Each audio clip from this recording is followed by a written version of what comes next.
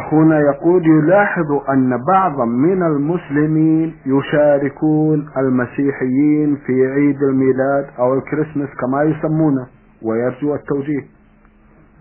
لا يجوز للمسلم ولا للمسلمة مشاركة النصارى أو اليهود أو غيرهم من الكفرة في أعيادهم بل يجب ترك ذلك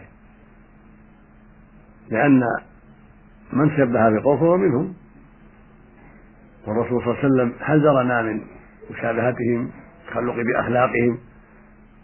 فعلى المؤمن وعلى المؤمنة الحذر من ذلك وألا يساعد في إقامة هذه الأعياد بأي شيء لأنها أعياد مخالفة لشرع الله.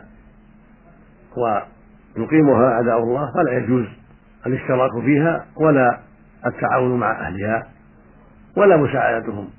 بأي شيء لا بالشاي ولا بالقهوة ولا بأي شيء من الأمور كالأواني ونحوها. وأيضا يقول الله سبحانه وتعاونوا على البر والتقوى ولا تعاونوا على الإثم والعدوان فالمشاركة مع الكفرة في أعيادهم نوع من التعاون على الإثم والعدوان. فالواجب على كل مسلم على كل مسلمة ترك ذلك. ولا ينبغي أن يغتر بالناس في أفعالهم.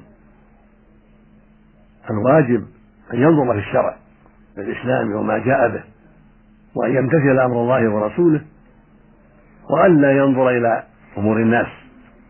فإن أكثر الخلق لا يبالي بما شرع الله.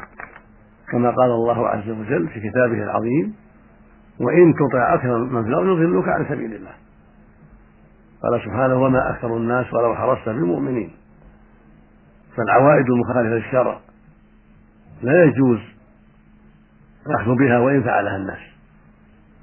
والمؤمن يزن أفعاله وأقواله ويزن أفعال الناس وأقوال الناس بالكتاب والسنة بكتاب الله وسنة رسوله عليه الصلاة والسلام.